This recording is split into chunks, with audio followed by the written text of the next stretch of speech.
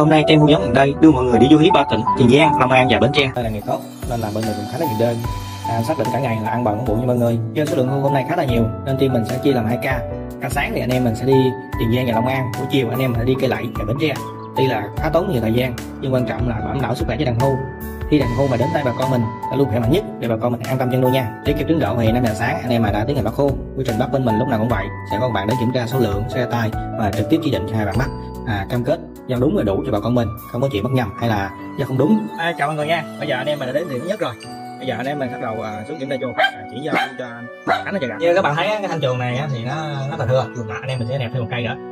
Để đảm bảo là không có à, rủi ro gì hết ha. Chịu mới về những ngày đầu thì rất là nhút nhát cho chưa quen chuồng xong rồi anh em mình sẽ tiến hành thả hô. Hô xong cho bà con mình. Kiểm tra hết ok hết rồi. Anh em hướng dẫn cho bà con mình chăn nuôi và một số loại thuốc dùng trong chăn nuôi hưu trong trường hợp bà con mình không nhớ thì đã có tài liệu cho bà con mình tham khảo và nhanh hơn nữa thì alo được cho mình tiếp theo bên mình sẽ ký hợp đồng cùng bà con sinh viên nha. Trước khi ký hợp đồng thì không quên giải thích những điều khoản hợp đồng một lần nữa cho bà con mình thật rõ đảm bảo điều khoản luôn minh bạch rõ ràng cho bà con. Tiếp tục đến buổi chiều nha mọi người. À, bác cô xong anh em mình tranh thủ ăn cơm rồi lên giường luôn. Miền tây thì đang ngồi nắng nóng nhiệt độ ngoài trời thì 39 đến 40 độ.